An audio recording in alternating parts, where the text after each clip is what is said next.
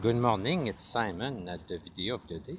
I'm going to show you a game we were doing in at my primary school before I was 10 years old, um, uh, before the computer arrived. So, uh, you take a, a, sheet of paper, you make it square. I don't know if you see it, a square.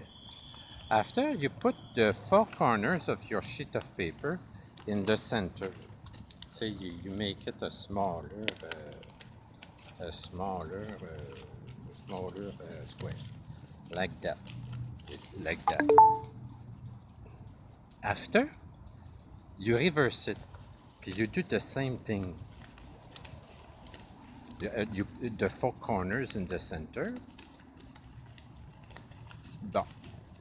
And you can, like that, puis you just put your finger under. See? See? It makes like a flower, things like that, that can move like that. Alors, that was my first example. I'm going to look in the oven for my fried chicken to be uh, already cooked. So, uh, that's another one. That one. That's another one, I mean. So, you put your uh, your finger in that.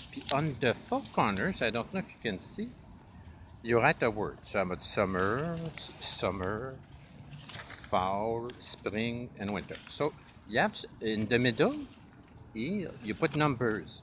And under the numbers, you put like a fate. So it can be a, a friendship game, a love game, a, a, fun game. So you ask a person to choose a word. So for example, I, I choose spring.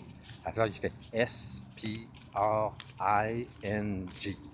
Là, you show the person the numbers that are in, in you are 4, 7, 8, and 3. I take 3, for example. So, whoop, you open it, puis you read to the person, you're a great friend. C'est ça. That's it. That's the game. So I, I think it's impossible to do that on a computer.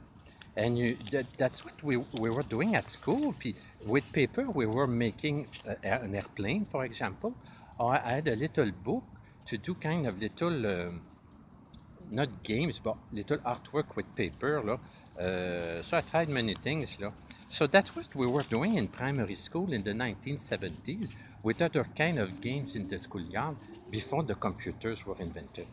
So that was my, my video of the day for today. So have a great weekend and a happy President, President's Day.